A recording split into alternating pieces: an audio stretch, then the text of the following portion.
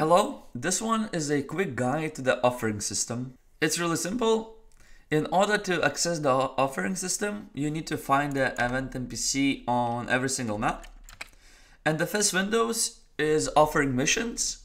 And these missions are completed basically automatically. You don't have to do them actively. However, if you want to grind more points, you can find some missions that are easier to do and trying to max out the points. However, the maximum amount of points we can get in a season is only 50,000. And at least me, I am already at 6,000 and I didn't even try.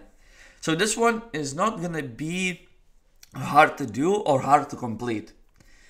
However, when we go to the offerings themselves and to the offering list, we can see that this is way different than what we had in the preview.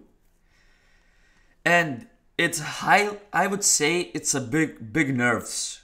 As we don't have any utility, we only have the damages.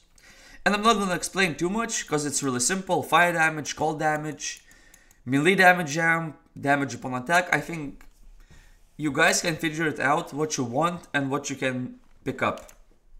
However, the first big problem is that you can get negative values from minus 2 up to plus 4.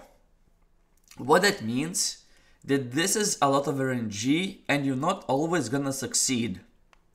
However, you can reset and reset only costs 300k. You get your all of your currency back. This currency, it's called offering points and price doesn't increase. So what is what it means? This is hell RNG.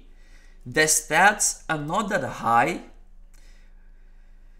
And I would say this one it's probably probably not worth to invest too much early as the payoff is not that big. Even me on level 5 right now on the Vespa I don't even have 1% projectile damage jump and only 20% projectile damage mu multiplier. So I don't know. This one is a little bit of a letdown, but I think I explained everything.